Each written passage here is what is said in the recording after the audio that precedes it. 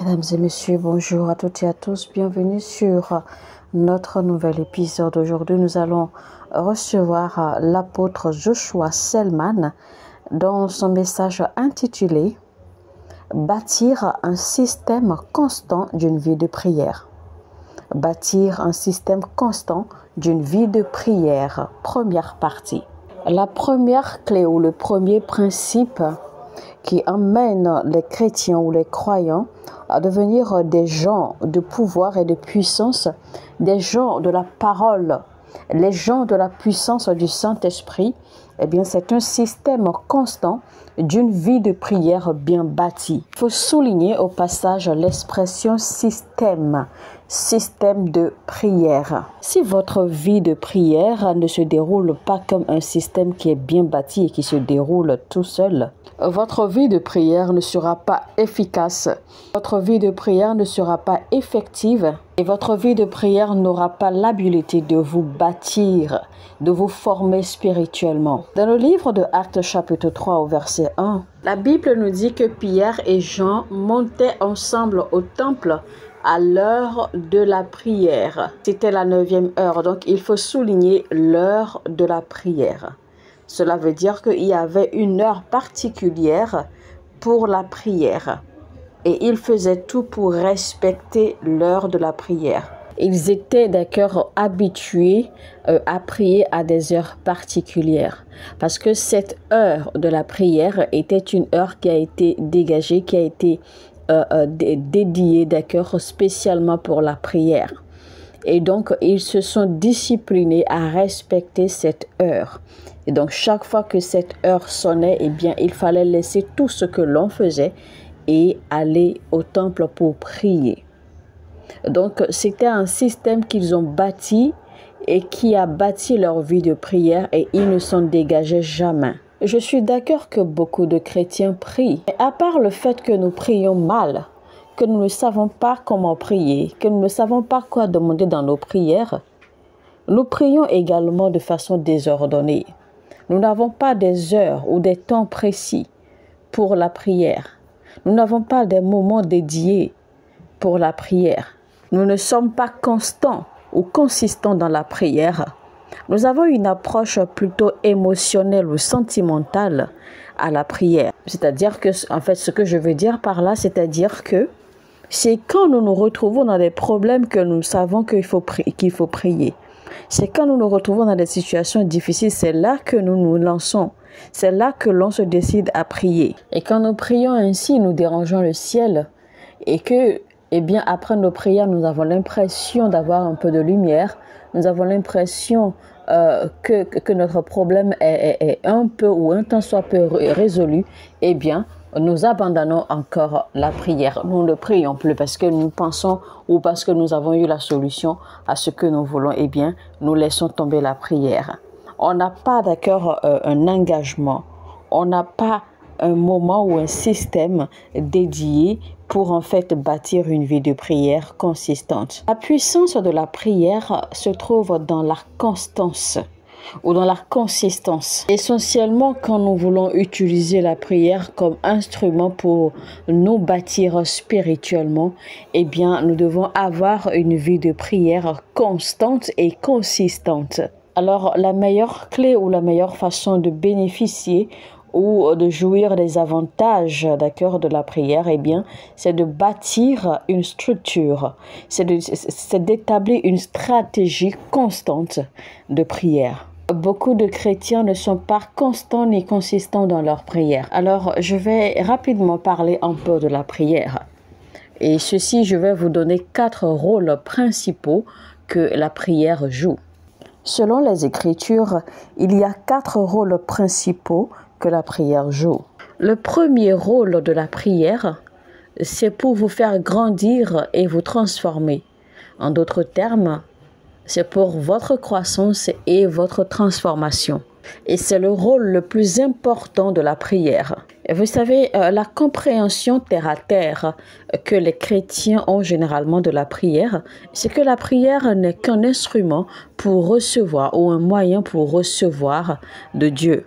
Alors que le rôle majeur de la prière, c'est pour votre croissance et votre transformation. Cela veut donc dire que quand vous priez, ne vous focalisez pas sur demander demander et demander à Dieu.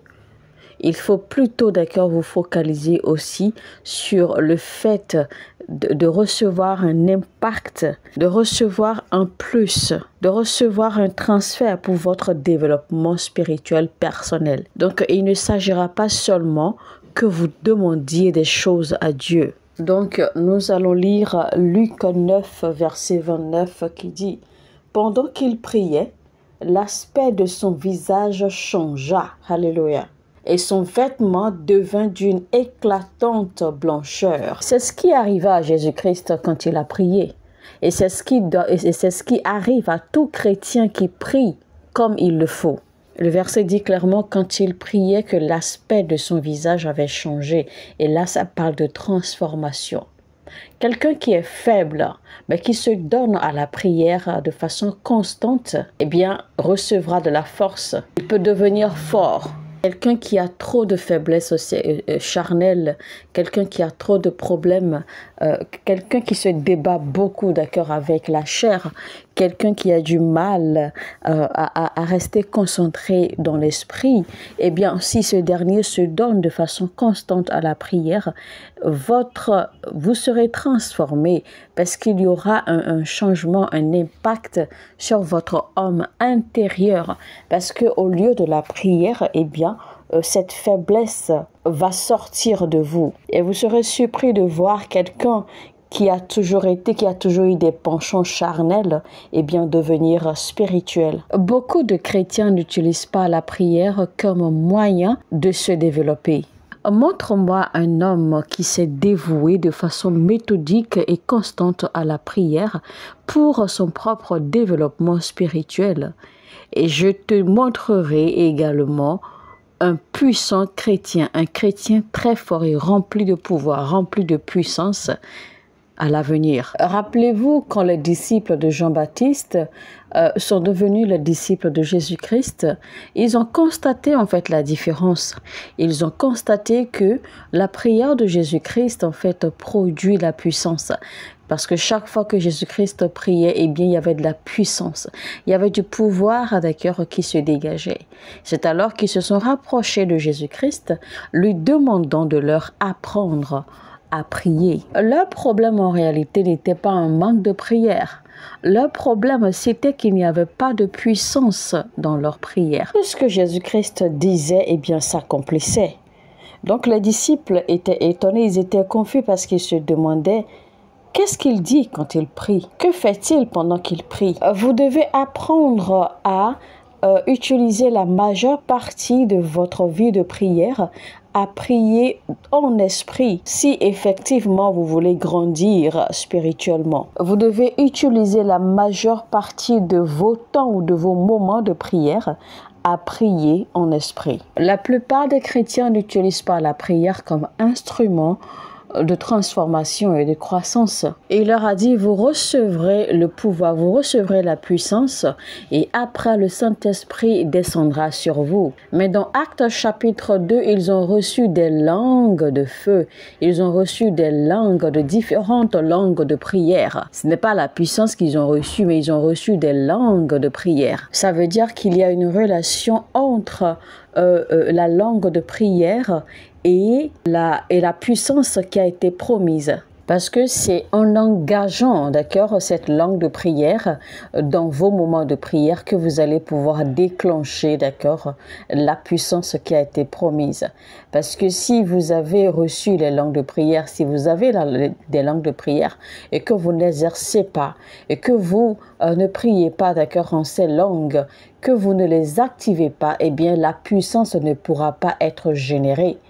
C'est pour cela que je dis qu'il y a une relation entre ces langues, euh, euh, entre ces langues, hein, ces différentes langues de prière et la, promesse de la puissance qui a été faite par Jésus-Christ. Donc cette puissance en fait se trouve à l'intérieur, d'accord, de la pratique, de la mise en œuvre, de la mise en exercice de ces langues ou de la langue de prière que vous avez reçu. Car c'est en exerçant, c'est en pratiquant, d'accord, que la puissance sera générée. Et c'est là que vous allez pouvoir recevoir la puissance qui a été promise par Jésus-Christ. C'est seulement quand votre désir devient ce que Dieu a dit dans sa parole que l'exaucement ressemblera à ce que Dieu vous a exaucé. Donc vous devez comprendre que la prière à laquelle Dieu a exaucé ou le désir que Dieu a exaucé, en réalité, ce n'est pas votre désir, mais c'est parce que votre désir s'est accordé à ce que lui il a dit dans sa parole. Et donc quand il exauce, eh bien vous avez l'impression que Dieu a exaucé vos désirs. Donc il faut faire très très attention à cette nuance. D'accord? Parce que quand Dieu exauce ainsi, en fait, il a exaucé votre demande ou votre prière pour honorer sa parole. Et vous allez le voir clairement parce que vos désirs, en fait, se sont alignés à ce que lui, il a dit dans sa parole. Et donc là, ça devient plus facile. Parce que dans ce royaume, quand Dieu ne parle pas ou si Dieu n'a pas parlé, eh bien, son onction n'a pas de valeur. Parce que le rôle de l'onction, c'est de tout faire pour que la parole de Dieu ne soit pas vaine dans votre vie. La Bible dit dans Genèse 21, verset 1, L'Éternel se souvint de ce qu'il avait dit à Sarah, et l'Éternel accomplit pour Sarah ce qu'il avait promis. Donc, dans ce verset, vous voyez clairement que Dieu fait seulement ce qu'il a dit. Donc, s'il ne l'a pas dit, maintenant, s'il l'a dit et que vous n'avez pas la, capacité de trouver ce qu'il a dit et là où il a dit afin que vous puissiez vous appuyer là-dessus pour ramener cela à la manifestation dans, dans, votre vie, eh bien, il sera difficile pour vous de pouvoir vous conformer, d'accord, à sa volonté, à sa parole, par vos désirs. Donc, il y aura un gros problème de manifestation, il y aura un gros problème d'évidence dans votre vie. Euh, beaucoup d'entre vous, quand vous analysez bien votre vie, eh bien, vous allez constater que votre vie n'est pas constante. Parce que la plupart du temps, eh bien, votre vie va toujours à l'encontre de vos désirs profonds. Et ceci simplement parce que vous vous êtes abandonné aux chances de la vie. Vous vous êtes abandonné à vivre au gré du vent. Vous vous êtes, vous, vous êtes abandonné, d'accord, à vivre selon les événements de la vie. Et ce qui est très très mauvais. Du coup, vous vivez une vie qui est complètement parallèle ou qui va à l'encontre de vos désirs et même au désir de Dieu pour vous à travers sa parole. Vous savez très bien que quand vous avez un champ et que vous ne plantez rien, d'accord, sur le champ, eh bien, que va-t-il se passer? Des herbes de mauvaises herbes vont pousser. Et vous savez que personne ne veut de mauvaises herbes autour de lui. Personne ne veut voir de mauvaises herbes dans son champ. Il est écrit dans la parole de Dieu que tout arbre, toute plante que mon Père n'a pas plantée soit déracinée par le feu. Et donc, en fait, il est de votre responsabilité, il est de ma responsabilité, il est de notre responsabilité de déraciner ces plantes que nous ne voulons pas, de déraciner ces plantes que nous ne désirons pas, de déraciner ces mauvaises plantes qui ne viennent pas de notre Père céleste. Finalement, vous vous rendez compte que vous tournez seulement en rond. vous avez l'impression que toutes les portes vous sont fermées. Vous avez l'impression que vous n'avez jamais de bonnes opportunités. Parfois même, il y en a qui pensent que personne ne les aime ou que personne ne veut les aider. Mais moi, je vais vous dire, arrêtez de vivre ou arrêtez de chercher la, sympathie des autres. Arrêtez de chercher la pitié des autres tout le temps. Enfermez-vous dans votre chambre, enfermez-vous dans votre maison. Vous avez l'avantage de la prière. Utilisez cet avantage pour votre propre bien. Vous êtes un prêtre aux yeux de Dieu, donc enfermez-vous, priez et priez surtout en esprit et faites des déclarations. Déclarez les choses que vous désirez. La prière est un très grand avantage que nous avons en tant que chrétiens. Voyez un peu ce que la Bible dit dans Jacques 5, verset 13. Quelqu'un parmi vous est-il dans la souffrance? Qu'il prie. Quelqu'un est-il dans la joie Qu'il chante des cantiques? Quelqu'un parmi vous est-il malade? Il appelle donc les anciens de l'Église et que les anciens prient pour lui en loignant d'huile au nom du Seigneur. Alléluia. Alors on va lire le verset 15 et je vous prie de marquer ce verset 15 quelque part. Il dit, La prière de la foi sauvera le malade et le Seigneur le relèvera. Et s'il a commis des péchés, il lui sera pardonné. Alléluia. Je reprends parce qu'on va souligner quelque chose. Il dit, la prière de la foi sauvera le malade. Soulignez cette phrase. Et ensuite, il dit, et le Seigneur le relèvera. La prière peut élever un homme. À travers la prière et surtout une prière fervente, le Seigneur peut transformer votre vie du jour au lendemain. Le Seigneur peut vous élever, il peut vous enlever de zéro et, vous transformer en héros du jour au lendemain. Le Seigneur peut vous enlever d'un point zéro et vous propulser du jour au lendemain. Le Seigneur peut vous arracher du bas de l'échelle et vous annoncer, vous exposer au monde entier du jour au lendemain. Un conseil rapide pour vous, chers amis, chers frères et sœurs dans le corps du Christ. Ne vous laissez pas leurrer par cette société contemporaine dans laquelle nous vivons aujourd'hui. Parce que cette société contemporaine, eh bien, nous donne l'impression que la prière n'est qu'un truc ou n'est que quelque chose, d'accord, qui est réservé ou, seulement réservé à des gens, à des fanatiques euh, de l'Église. Cela ne vous aidera en rien. Cela n'aidera en rien votre destin. Rappelez-vous que Jésus-Christ lui-même a dit, et il a dit clairement, que, que l'homme est appelé à prier, à prier en tout temps. Donc, premièrement, priez toujours en esprit. En majeure partie de votre temps de prière, priez toujours en esprit pour votre édification personnelle, pour votre développement personnel, pour votre croissance et votre transformation. Deuxièmement, faites des prières basées sur les prophéties écrites dans la parole de Dieu afin de faire des déclarations prophétiques sur votre vie pour pouvoir déterminer ou décrire par vous-même vos réalités, votre destin. Troisièmement, utilisez la prière comme plateforme pour présenter vos pétitions à l'Éternel et recevoir des requêtes. Vous savez qu'il est écrit dans la Bible, à lui qui exauce les prières, toutes les chairs viendront.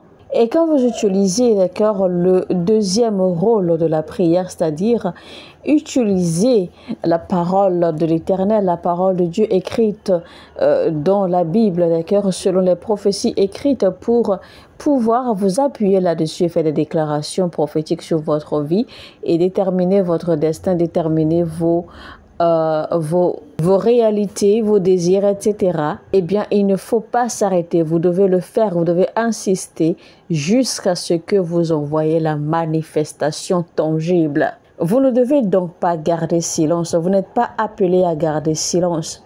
Vous n'êtes pas appelé enfant de Dieu pour garder le silence. Vous devez ouvrir votre bouche. Vous devez faire des déclarations. Vous devez par vous-même utiliser vos propres mots pour réécrire votre histoire. Maintenant, le quatrième rôle de la prière. Rappelez-vous, au début, au commencement, j'avais annoncé que la prière a quatre rôles essentiels qu'elle joue.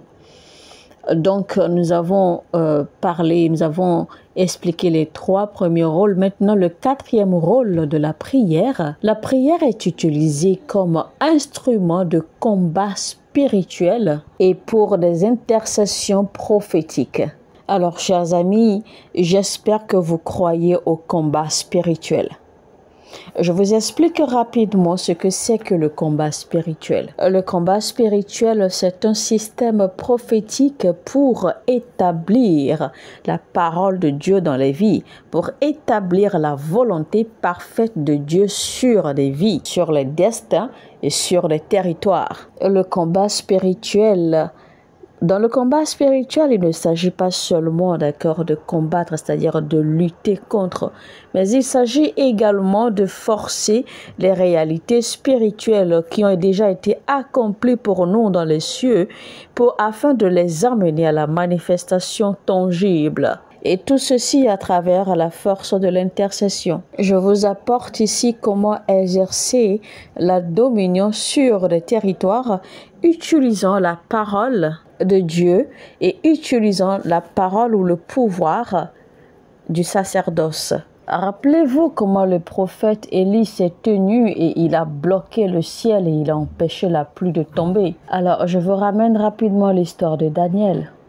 Vous savez que Daniel était un leader, il était, il était un chef très avéré, il était un chef très très intelligent et très sage. Et Daniel avait compris ou Daniel connaissait euh, le pouvoir de la prière. Donc il était un bon administrateur, il avait des talents extraordinaires, il avait tout de bon car la Bible dit clairement que Daniel avait, il possédait un esprit excellent. Et maintenant, il faut souligner au passage que toutes ces capacités, tous ces talents, d'accord, de Daniel, en fait, ont été renforcés, ont été équipés, ont été euh, euh, euh, fortifiés d'accord, ont été véritablement travaillés et en, fait sont devenus excellents à travers la prière, à travers sa vie de prière. Donc les esprits et les démons euh, euh, de leur territoire ou enfin du territoire d'accord sur lequel euh, Daniel et ses frères vivaient voulaient en fait investiguer pour en fait connaître le secret de l'excellence de, de, de, Daniel. C'est alors qu'ils euh, se sont rendus compte en fait que c'était sa vie de prière. Et donc en fait pour l'empêcher de prier, eh bien qu'est-ce qu'ils ont fait? C'est-à-dire en fait pour réduire la capacité de Daniel, qu'est-ce qu'ils ont fait? Eh bien ces esprits et, ces démons, ces chefs euh, qui sont en fait en charge ou ces prêtres d'accord de ces esprits, etc.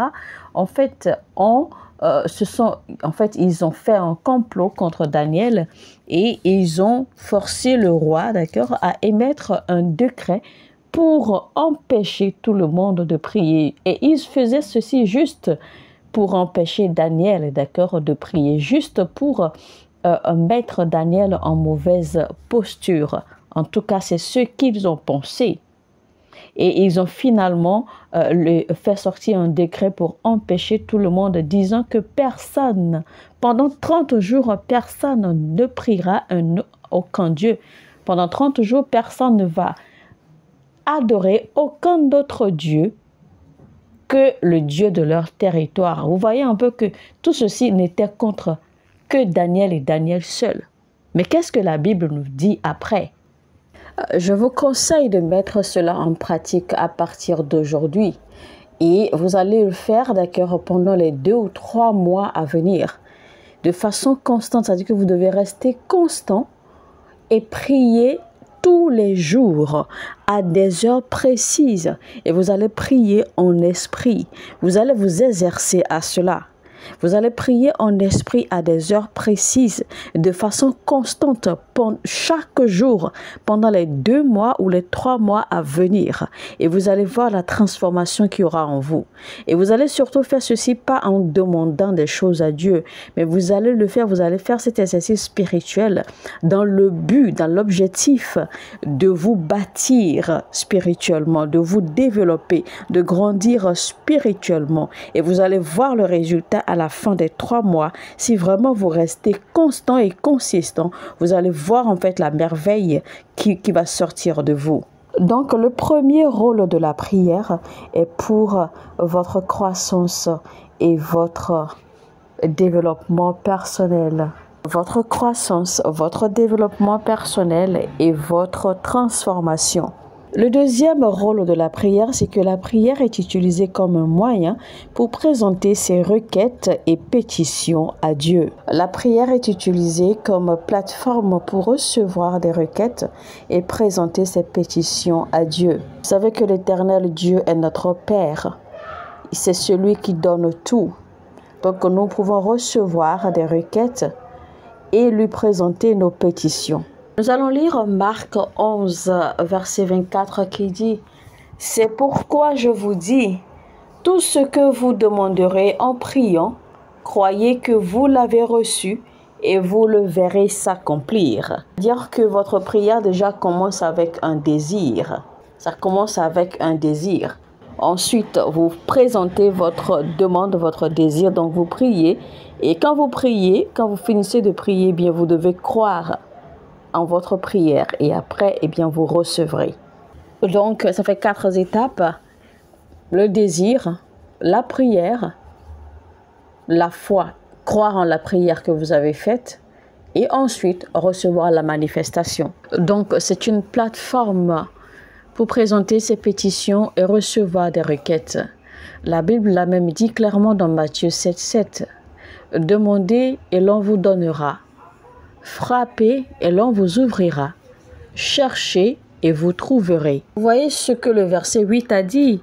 Le verset 8 a dit clairement, car quiconque demande, reçoit. Celui qui cherche, trouve. Et l'on ouvre à celui qui frappe. Donc quiconque demande, recevra. Donc c'est pour dire que la prière est faite pour tout le monde. La prière n'est pas désignée, elle n'est pas faite seulement pour quelques-uns. Elle est faite pour tout le monde. Car quiconque demande dans la prière reçoit. La Bible dit que vous ne recevez pas parce que vous ne demandez pas. Donc, comme j'ai dit, on va rappeler rapidement le premier rôle de la prière, c'est pour votre, pour votre édification, votre développement personnel, votre croissance et votre transformation. Deuxième rôle de la prière, c'est une plateforme pour présenter ses pétitions et recevoir des requêtes. Alors maintenant, nous allons recevoir le troisième rôle de la prière. Le troisième rôle de la prière, c'est que la prière sert de plateforme pour créer votre propre réalité ou créer vos propres réalités. Quand la prière du croyant s'aligne à la parole de Dieu, eh bien le croyant peut créer ses propres réalités. Seulement quand ses prières s'alignent à la parole de Dieu. La Bible dit Dieu qui ravive les corps morts et qui appelle les choses qui n'existent pas comme si elles existaient. Car comme le Père ressuscite les morts et donne la vie, ainsi le Fils donne la vie à qui il veut. Dieu vous a donné la responsabilité de créer votre destin, de créer vos propres réalités en utilisant la puissance qui se trouve dans la parole écrite à travers vos prières. Ceci doit constituer la majeure partie de votre vie de prière. Ne vous contentez pas seulement de demander, faites des déclarations, prophétisez. L'Éternel avait demandé à Ézéchiel, il avait dit, il avait dit, Fils de l'homme, ces eaux reprendront-ils vie encore? Et à Ézéchiel de répondre à l'Éternel, Toi seul tu sais, Éternel. Et l'Éternel lui demande de prophétiser sur les eaux desséchées. Quand l'Éternel parlait avec Ézéchiel, le Saint-Esprit avait déjà inspiré à Ézéchiel exactement quoi dire aux eaux desséchées. Et je peux vous assurer que puisque c'est le Saint-Esprit, d'accord, qui inspire, eh bien, les eaux ont déjà entendu euh, ce que le Saint-Esprit inspirait à Ézéchiel. Mais les eaux n'ont pas bougé. Les eaux n'ont pas réagi jusqu'à ce que Ézéchiel ouvre la bouche pour prophétiser, pour ordonner aux eaux de se relever, de reprendre vie. Et Ézéchiel a dit, je prophétise comme j'ai été ordonné de faire. C'est alors qu'il y a eu un son et les eaux ont commencé à se retrouver. Les eaux ont commencé à se, à se remettre ensemble. Donc, chaque fois que nous prophétisons dans la prière, il y a un son. Il y a un son qui s'émet. Ça peut être un son de guérison, ça peut être un son de restauration, ça peut être un son de réveil spirituel, ça peut être un son de délivrance. Imaginez un peu une vallée euh, remplie d'os, d'ossements humains desséchés. Et donc, évidemment, euh, les os, par exemple, d'un corps humain ne peuvent pas être en place ou sur place. Certainement, les os seront éparpillés ici et là les eaux seront euh, dispersées, d'accord, à des distances éloignées. Mais dès que la parole prophétique a été, a été sortie, a été lancée, eh bien, la puissance dans la parole prophétique, d'accord, a provoqué les eaux de se déplacer de leurs différentes euh, destinations ou de leurs différents lieux où ils se trouvaient pour retrouver, d'accord, eh bien, la tête ou le tronc auquel ils doivent se coller. Donc, les eaux ont, pu reconnaître leur source et les eaux ont, ont, pu se déplacer de gauche à droite, de partout, pour pouvoir se recoller jusqu'à ce que tous les corps dont les eaux étaient là, dont les ossements étaient desséchés, et puis euh, tous ces corps ont repris vie. Donc c'est pour vous dire en fait que tous ces os peuvent être des problèmes qui sont éparpillés ou tous ces os, tous ces ossements, d'accord, peuvent être vos bénédictions qui sont éparpillées. Vos, sources de revenus, euh, votre restauration, les désirs, euh, vos rêves, etc., qui sont éparpillés. Mais dès que la parole prophétique est lancée, tout cela commence à chercher leur chemin pour pouvoir revenir à la source et se coller et se mettre ensemble et se mettre ensemble prêt à la manifestation. Alors je vais vous dire, vous ne saurez pas la puissance ou le pouvoir qui se trouve à l'intérieur de vous quand il s'agit de créer vos réalités ou de recréer votre destin jusqu'à ce que vous sachiez comment utiliser les écritures, la parole écrite dans les écritures pour pouvoir redessiner ou réécrire votre destin, réécrire votre histoire, établir vos désirs. Alors mesdames et messieurs, nous allons nous arrêter là pour la première partie de notre message.